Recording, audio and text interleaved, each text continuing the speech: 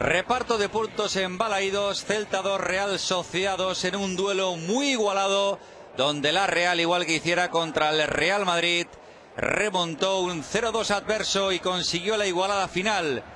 Y eso que la primera ocasión fue de la Real Sociedad después de esta asistencia de granero perfecta que está a punto de culminar Xavi Prieto, pero Sergio Fernández evita el gol.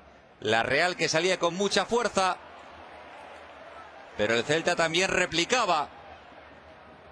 Y en esta acción de Crondelli, el centro y el remate solo de Fabián Orellana.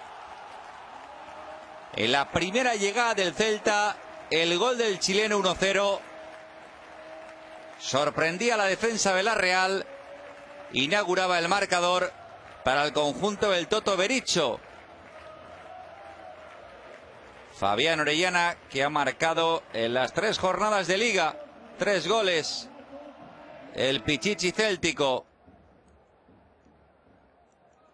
A balón parado el Celta que creaba peligro con este remate de la Ribey. La Real Sociedad, más allá de la primera acción del partido, apenas inquietó la puerta de Sergio Fernández.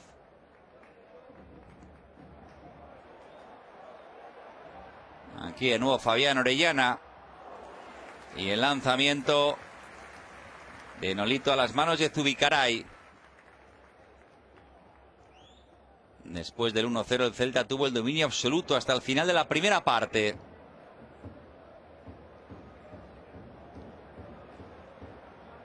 Y en esta acción vendrá el segundo del Celta. La segunda parte, la Ribey marca con todo.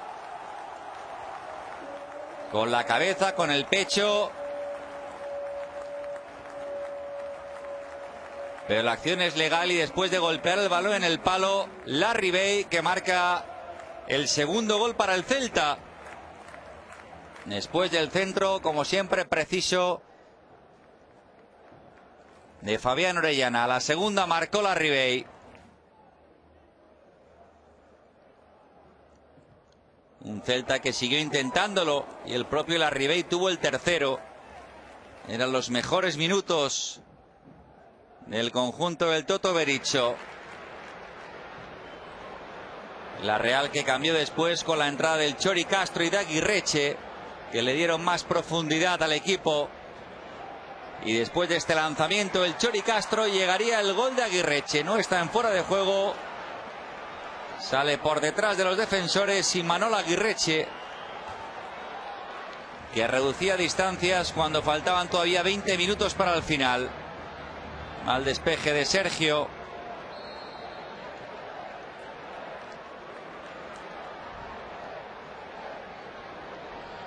Y marcaba ahí la Real. después tuvo otra ocasión clarísima, el propio Aguirreche.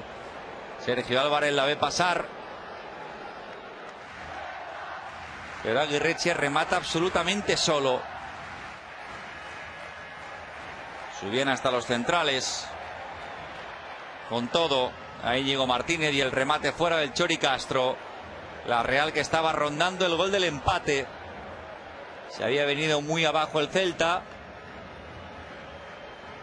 Que además sufriría la lesión de su capitán Cabral. Aquí el lanzamiento de Gananero al palo.